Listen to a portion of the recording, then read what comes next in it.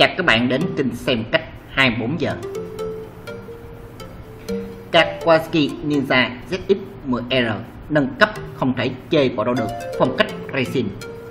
Kawasaki ZX-10R là cái chiếc sport bike hàng đầu thương hiệu Nhật Bản sở những ưu điểm mạnh mẽ, cân bằng giữa thiết kế và khung gầm hẹp, cùng với trọng lượng nhẹ. Nên ngoài việc phổ biến trên cái đường phố hiện nay, nó còn là một cái cỗ máy dẫn đầu trên cái đường đua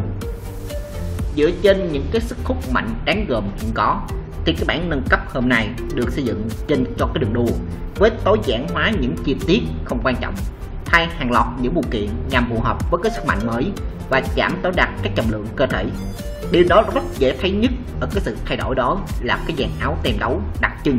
kết hợp cùng việc tháo bỏ cái đèn pha chính thay vào đó là cái phần fairing bích mũ là khá hung bạo,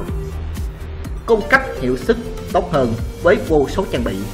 Đầu tiên là phần tay lái cái bộ cụm con tiếp em. Trợ lực tay lái Marlin, công tắc cái rim, bộ khung với nhiều chi tiết trên cơ thể được che đi bởi cái gót phụ kiện carbon fiber đạt đẹp 47 tương tự như phần đầu xe đèn hậu chắn bùng cũng được tháo dỡ thay vào cái vỏ bích mũ. Bộ đồng hồ cho việc giảm cân ấy bản đồ còn được nâng cấp một cái bộ băm Osset Racing với cấu tạo nhẹ siêu nhẹ. Và hãy cùng chúng tôi nhìn ngắm là cái chú quái vật nhà Kawasaki trong hình hài đường đua đẹp bá cháy.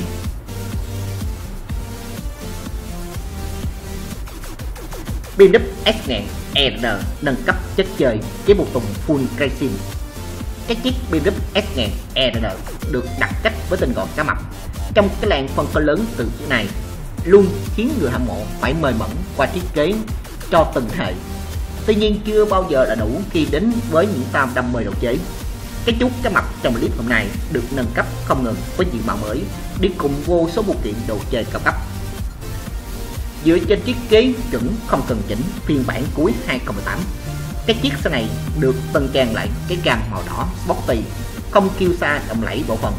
Đi cùng với một body kit khiêu gợi một cái gói phụ kiện carbon burger chảy dọc theo từng cơ thể, như là cái chắn bùn trước, sau, khung xe, đường xe, gấp xe, đuôi xe, vân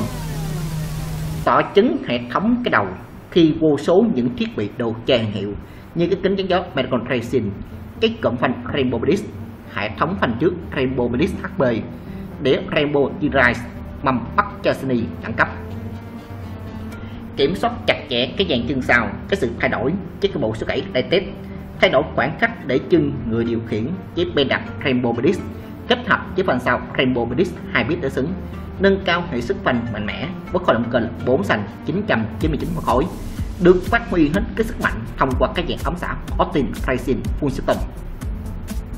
Và giá của chiếc BMW S1000 ERR 2018 được bán ở Việt Nam với mức là 599 triệu Việt Nam đồng.